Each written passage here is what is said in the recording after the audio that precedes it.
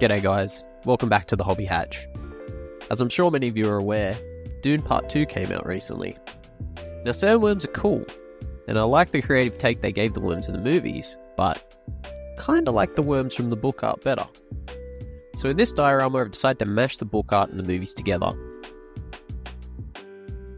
So, drawing from the book art, I found this STL file of a retro sandworm sculpted by Jukka Stepanen, sorry if I butchered that, over on MyMiniFactory, and this portrayal of an Atreides ornithopter by Eternal 3D Prints over on Cults 3D. If you fancy printing these for yourself, I'll leave the links to where you can find them in the description below. As you've just seen, I started the process by giving the worm a pre-shade using white acrylic ink directionally sprayed through the airbrush. I then went about tinting the worm with a thin mixture of Mournfang brown sprayed through the airbrush. Made sure to apply the paint in thin layers to preserve the pre-shade we added in the previous step.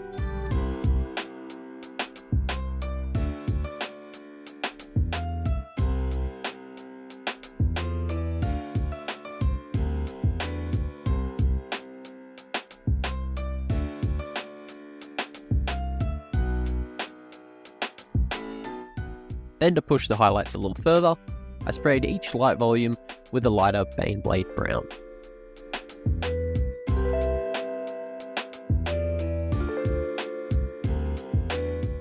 Next, I sprayed the inside the worm's mouth with Volupus pink contrast paint, which tinted the inside of the mouth with a nice maroon colour.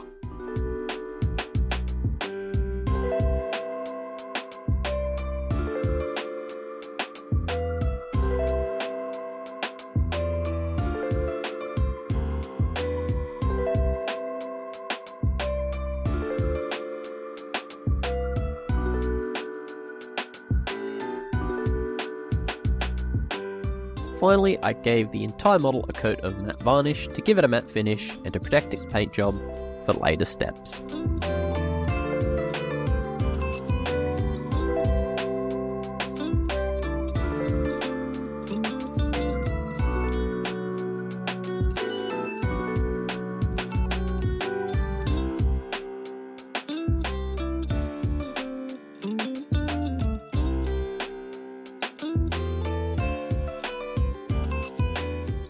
I then moved on to the ornithopter.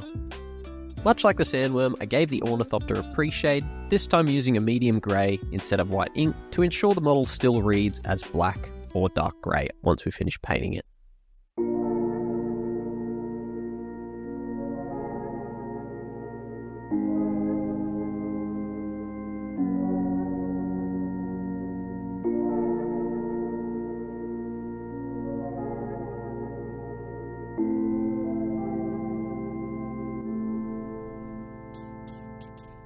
I then dry brushed the entire model with Administratum Grey.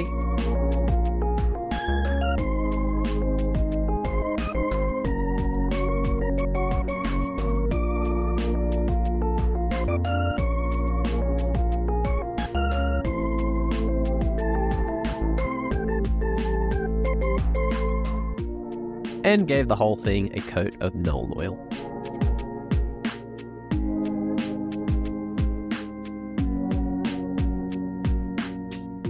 Some of the key areas of the mold were then dry brushed with a bright silver metallic paint, in this case Vallejo Steel.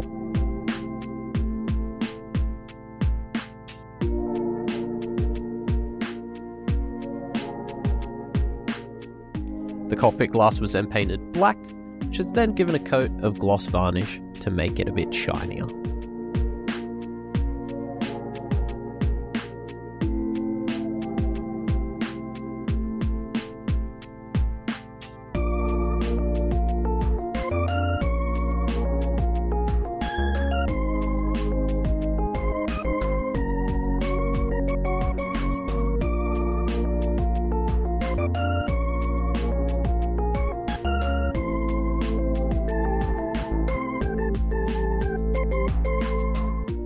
Onto the base.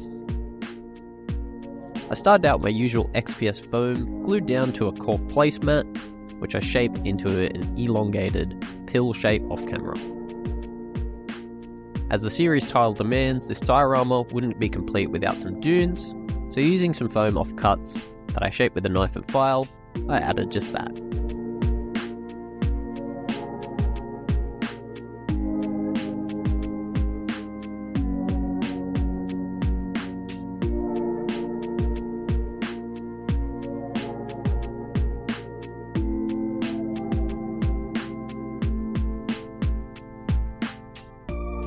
After testing the placement of the worm, I filled all the gaps between the foam parts using plaster hole filler.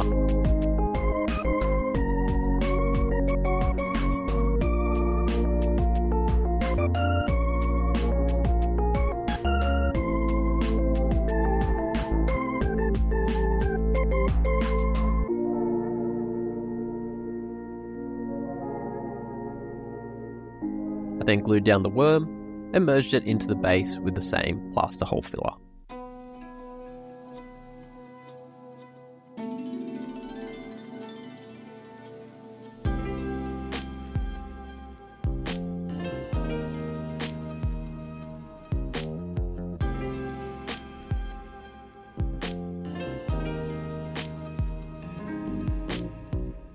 Once everything had dried, I sealed the foam and gave it some further texture using a mixture of plaster, paint, and Mod Podge.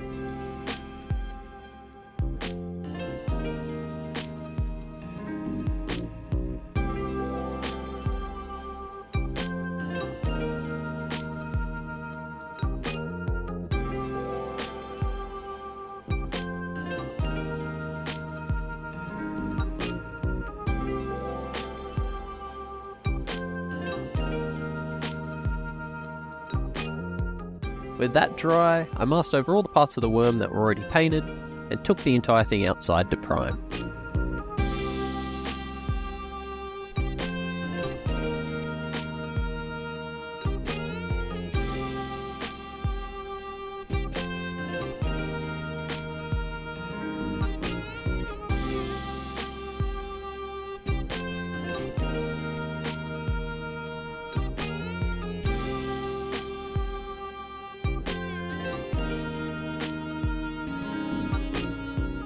Painting the terrain, I went with a base coat of Morghast Bone by Citadel, all sprayed through the airbrush.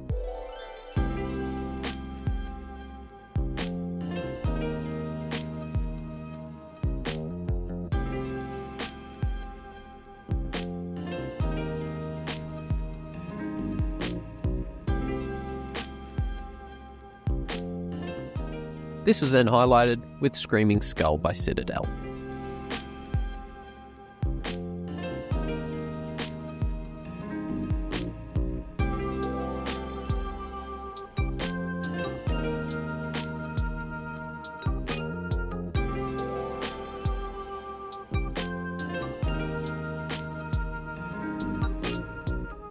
Dry brushed all the terrain with a very bright ivory colour.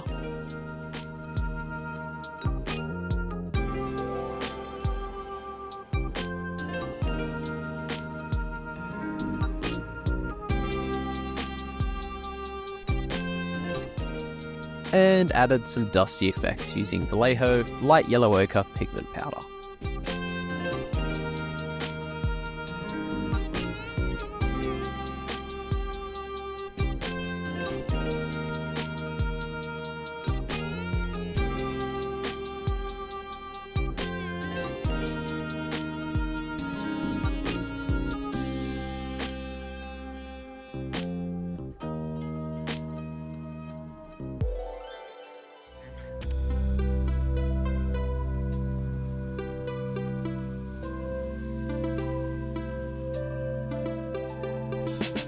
The last step was to add the ornithopter, which I did by drilling a hole for an acrylic lollipop stick and gluing the ornithopter to the top.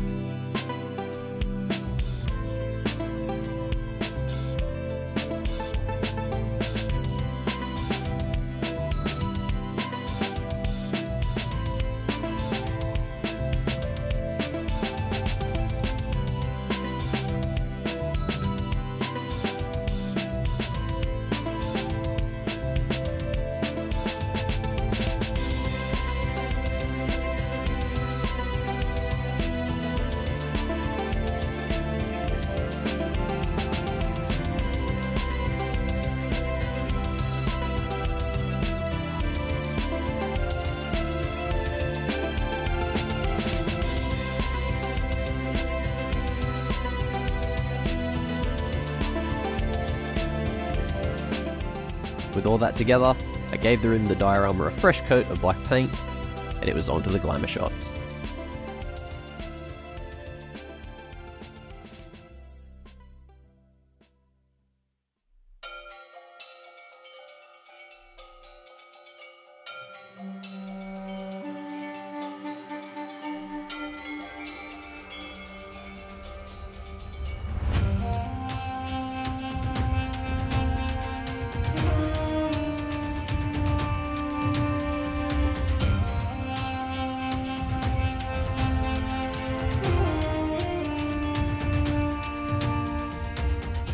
Thanks so much for watching everyone.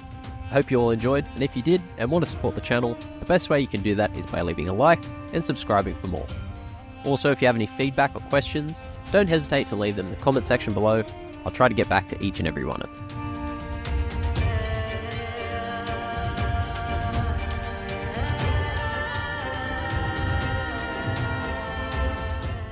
Anyway, thanks so much for watching everyone. Stay tuned for more, and I'll see you in the next one.